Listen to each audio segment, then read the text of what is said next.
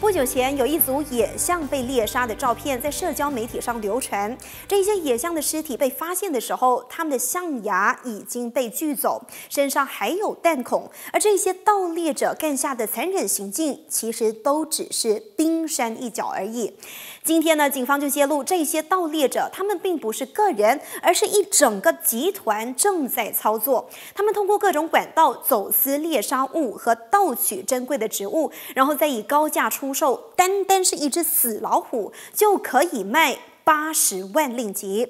一支由警方与野生动物保护及国家公园局联手的执法队伍，在过去一个月就捣破了四宗非法收藏野生动物以及森林盗猎的勾当。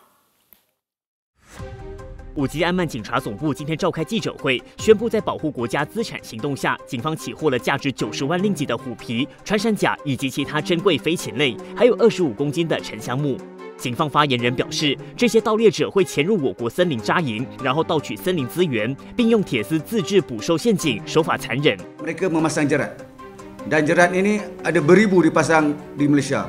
Yang kalau kena kaki harimau, dibiarkan seminggu dua putus kaki harimau. Sebab itu kita jumpa harimau-harimau yang tidak ada kaki sebelah kudung. Dan ada juga yang binatang-binatang lain yang mati kena jerat.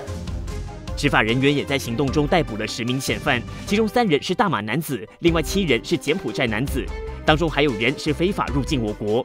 当局估计，这么多年下来，这些猎人设下的陷阱超过两千个，而警方也在这次的行动当中发现并且摧毁超过百个陷阱。